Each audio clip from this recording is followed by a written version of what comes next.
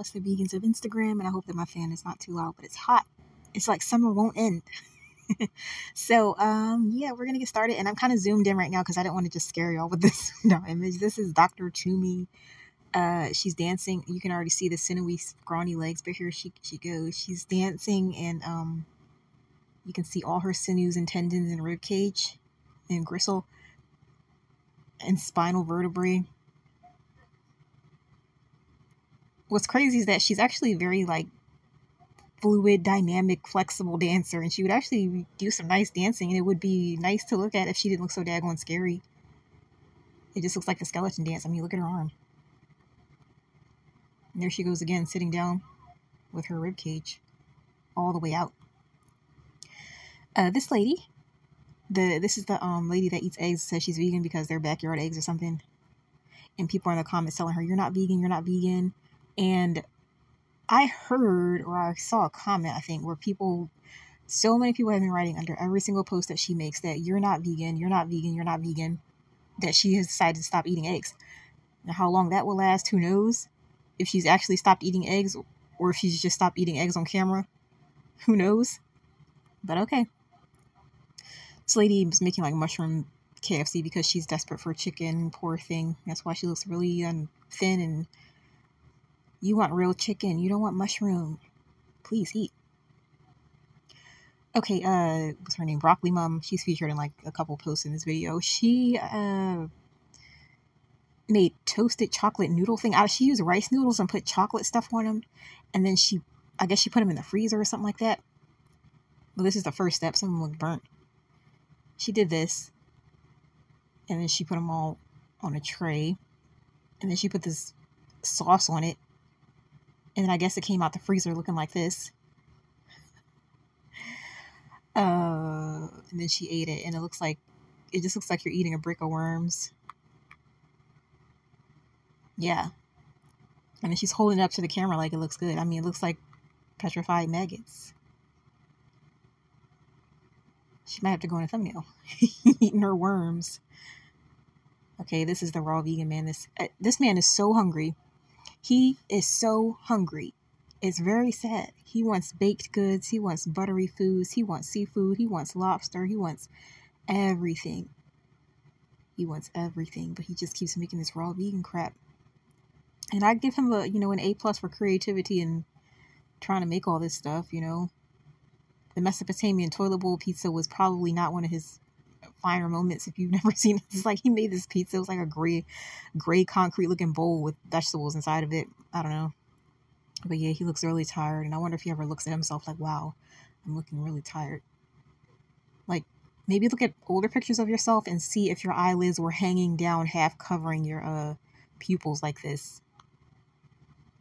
I mean, this is a very sad looking eye. Mm. This lady, uh, talking about divine perfection or whatever. She looks like she has an eating disorder. She needs to be checked into an eating disorder clinic. She's like some herbalist vegan lady, and fortunately, she doesn't make her kids be vegan, so that's that's good, I guess. This lady said she's been vegan for 17 years. I actually was looking at a video of her on YouTube where she was talking about this plant based, you know, taking over and veganism is out. she said she was vegan since she was like 13, 14 or something like that. How, how old did she say she was when she went vegan? I don't know, really, really young, like preteen or something. And you saying that you've been vegan for 17 years, I'm just going to say that I have my doubts as to how strictly, purely vegan you've been all these years. This is a vegan. This is a real vegan. Carolyn Deiser. I don't know if she has on dark purple lipstick or if this is her anemic lip color, but either way, it's contributing to a very, very Addams family look. Um, this baby, okay, this baby is 17 months old, right? You know, Carolyn Deiser's baby is 20 months old, so three months older.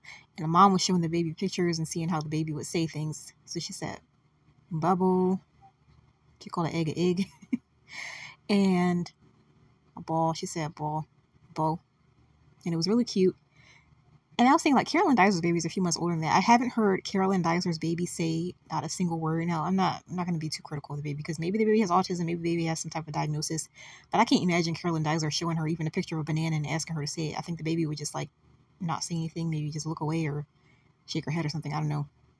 But she doesn't talk. She doesn't say mommy. She doesn't say anything. So I don't know what's going on there.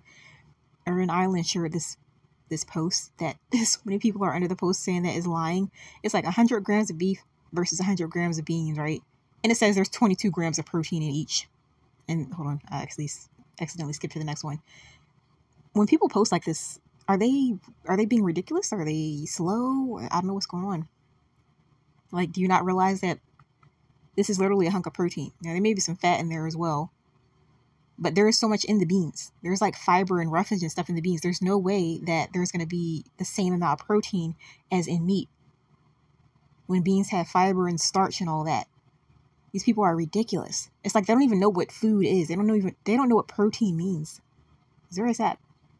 Anyway, so the comments under that post where they shared that line about the beans and the beef, someone wrote, Hey guys, I'm vegan and I'll even admit this is extremely incorrect. Please don't spread misinformation. It makes you look bad. 100 grams of steak is around 30 grams of protein, whereas 100 grams of beans have about 8 grams.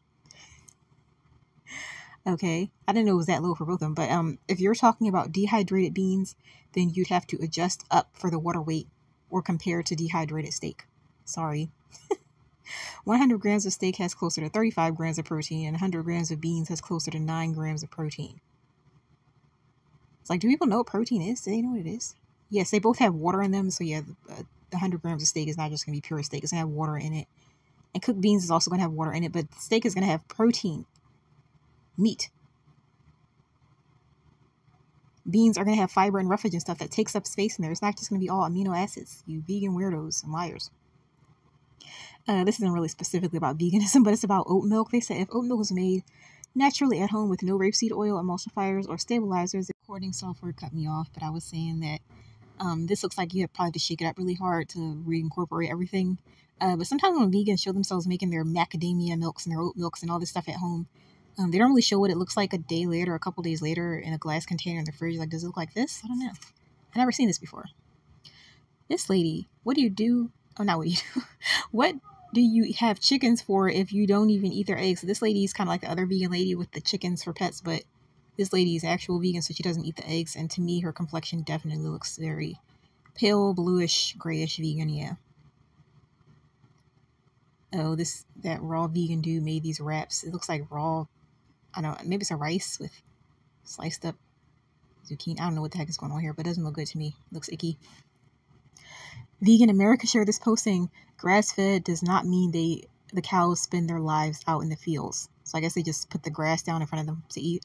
Um, okay. I mean, I assume that they don't live out in the fields because there's different seasons of the year and stuff like that. So they're not going to be out in the field all the time. But I would assume they get some time out in the field and maybe some of the time, most of the time, they're going to eat hay and stuff indoors. And um, either way, it doesn't really matter to me because it's not really about how they're living their lives, it's about what they ate, and nutritionally speaking, how that will impact the meat. Okay, do vegans do too much? This person asks. Shaping soursop pulp or whatever this is into a fish and creating an eyeball on it when you claim to be a vegan. We just like the, it's not like we don't want to eat meat. We just, you know, we're vegans. We just miss the texture and stuff it's so ridiculous when they're trying to make something look like a, a Thanksgiving turkey with limbs on it, and you're trying to shape, shape something into a fish with an eyeball on it. You're literally mimicking the dead animal. You're not just mimicking the taste and the flesh and all that. You literally want to see a dead animal on your plate. That's funny. Oh, this vegan lady, I think she does raw till four and listens to Freelee uh, how to travel with supplements, and she has like her whole medication tray here. I mean, at least you're taking your vitamins because you probably need this many to last more than a couple years being vegan, especially on Freelee's diet. Ted Carr said he's a at 34 he's a multi-millionaire investor. Wow. Is that true? Oh, here goes the sad raw meat raw vegan man again. It makes me so sad to see him. He'd probably be a really good creative chef if he was able to use some real uh, you know, a variety of ingredients instead of just raw plant foods. This is a raw vegan deep dish pizza. Psst. Oh, okay, this one was, kind of sad. Um, I think I showed a little bit of this person in my last video, but I'm not going to show his face or anything or his account name. But it seems like this vegan is going through some type of depression or something. But he said today was one of those low days for me. He woke up pretty late and it was really gloomy out. He spent most of the day laying around and doing nothing.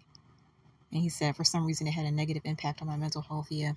I mean, a gloomy day, a cloudy, gloomy day where you get to lay in and just, you know, chill and stuff.